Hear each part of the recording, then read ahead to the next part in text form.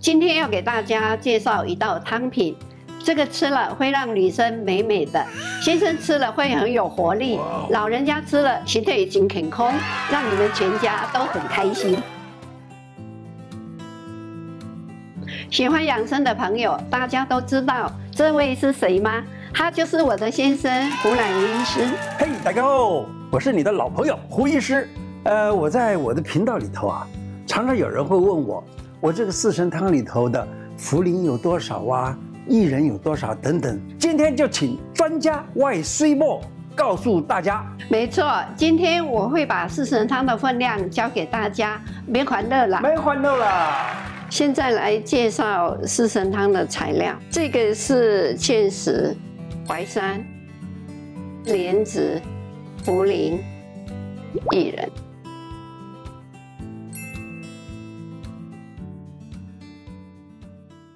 现在煮四神汤，我们先倒水一千五百 CC，先把食材倒进来。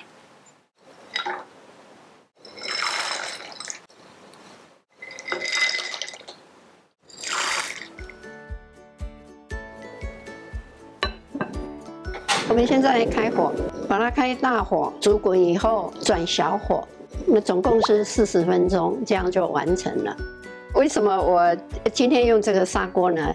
因为它的保温效果很好，营养不容易流失掉，然后煮起来东西很可口。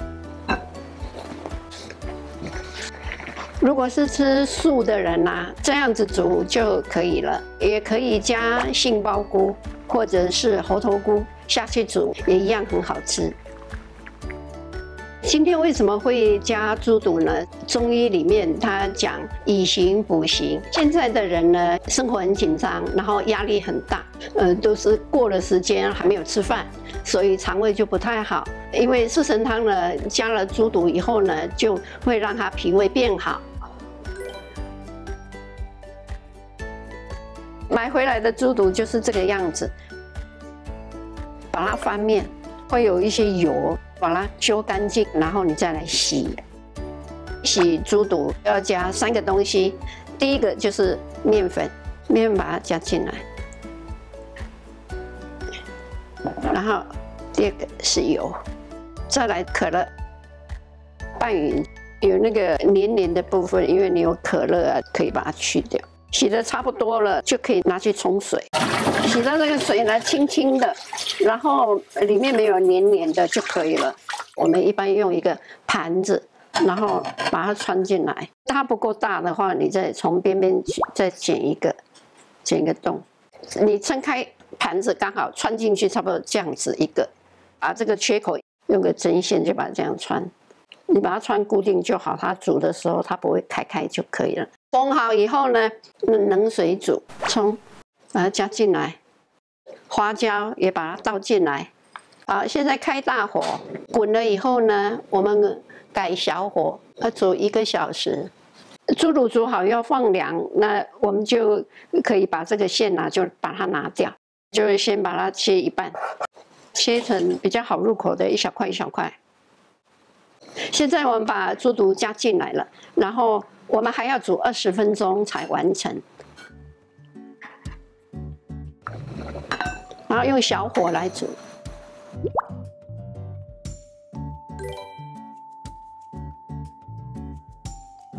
今天煮了一个猪肚四神汤，我买了一个猪肚比较大，所以我煮了一半，另外一半呢，我用来做红油肚丝凉拌菜。现在来介绍红油肚丝调味料：醋一大匙。酱油两大匙，花椒粉少许，那糖呢？呃，也是少许。辣油。那今天介绍的这个是莴苣笋，跟猪肚凉拌在一起，夏天吃了会很开胃。你去选莴苣笋的时候呢，哎，你买它的这个叶子是绿色的，很翠绿的，那就是表现它很新鲜。呃，一般这个头要把它切掉，硬的部分就把它削掉就好了。里面它是非常嫩的，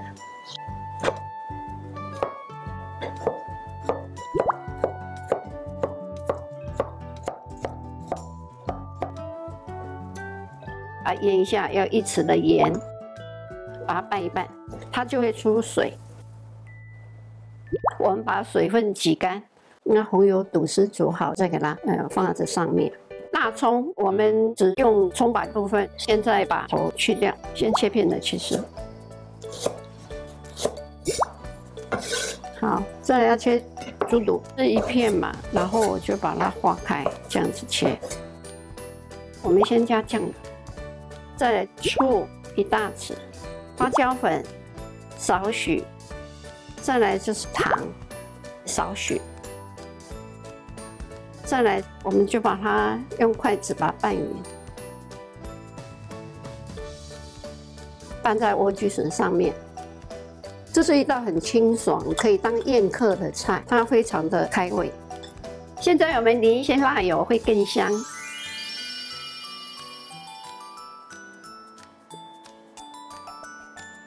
好了，这是那煮煮好了。嗯，好吃吗？嗯，煮的很烂。嗯，好好吃哦。好吃。这个这里头的这个猪肚啊，吃起来。嗯，软软 Q Q 烂烂的，我的牙齿都还咬得动，不错 不错。那下次再煮给你吃。好吃的，这个里头呢有猪肚啊，猪肚以形补形，就是补补肠胃哈。另外呢，就是它里头的茯苓，还有利肾水啊，补肾的作用。芡实也是补肾的，而且可以缩小便，意思就是说夜尿太多的也可以吃这个。这里面的。呃，莲子啊，它是补脾的，还有淮山，尤其是对于糖尿病的患者特别的好。那，假如说呃常常吃四神汤，那对身体都还不错。那薏仁啊，它可以有软坚的作用，所有比较硬的那种，像是猪肚啊，或者是猪肠的，它都可以让它很快的软烂下来。薏仁虽然有那么多的好处，可是孕妇要记得不要吃比较好，有可能有子宫收缩的问题。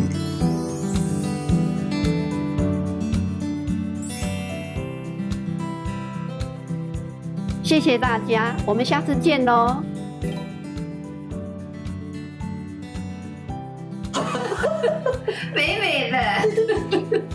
然后可以可以定格，对，可以定格一下，或者换个方向。喜欢养生的朋友，大家都知道吗？呃，我错了，要不要搁起盖？下一次，下一次，再来一次哦。好，开始啊，啊，自己说，自己碎碎念。可是叫我碎碎念，我就没办法碎碎念。哎，好吃，好好吃。不行啦，客人还没吃，你不可以吃，等一下再吃啦。